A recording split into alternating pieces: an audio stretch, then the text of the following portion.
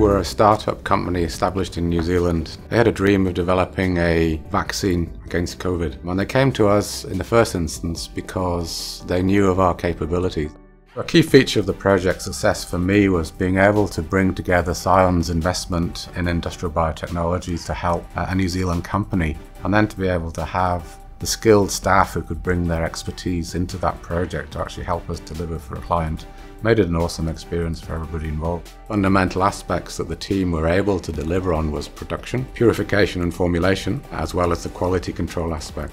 Finally ending up with vials of new material that they were going to test and that was a, a great thing to see.